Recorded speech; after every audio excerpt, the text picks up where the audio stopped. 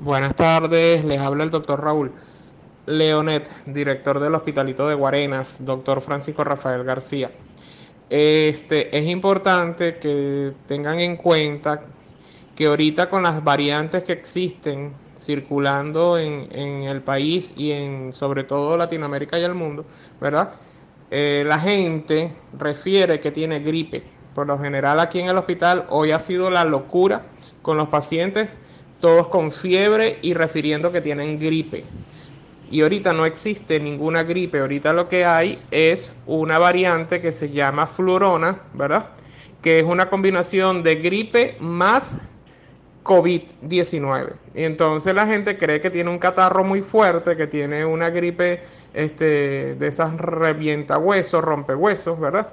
Y resulta de que es COVID. Ya lo hemos nosotros confirmado aquí dentro del hospital realizando las pruebas de PCR. De hecho, mañana tenemos una jornada de PCR aquí en el hospital para los casos sintomáticos respiratorios que estamos viendo nosotros acá.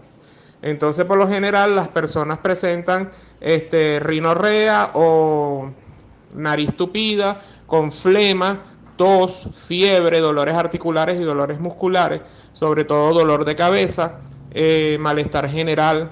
Algunas personas cursan con diarrea, otros cursan con vómito y este, lo refieren como que si es una gripe, un catarro. Y no es gripe, es COVID. Entonces ten mosca y este, eh, traten de mantener las manos limpias. Si tocan algún pomo de la puerta o algún pasamano, inmediatamente aplicarse alcohol no quitarse el tapaboca en lugares donde estén muy concurridas o muy llenos de personas, ¿verdad?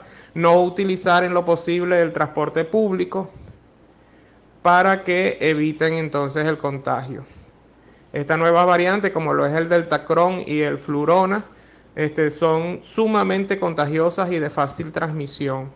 Y este, si las personas tienen enfermedades de base o tienen enfermedades este, tales como la hipertensión, la diabetes, el asma, o que tengan o sean hepóticas, ¿verdad? Que tengan eh, obstrucción pulmonar, eh, tienen un gran factor de riesgo que, bueno, les podría este, llevar a una situación bien, bien delicada. Entonces, por favor, cuídense Traten en lo posible de no serenarse, de bañarse temprano, de tomar muchos guarapos, de mantener el sistema inmunológico fuerte y para eso debemos consumir una gran dosis de vitamina C, que está presente en muchas frutas cítricas como el limón, la parchita, el mango, la guayaba, el tamarindo, la flor de Jamaica, ¿verdad?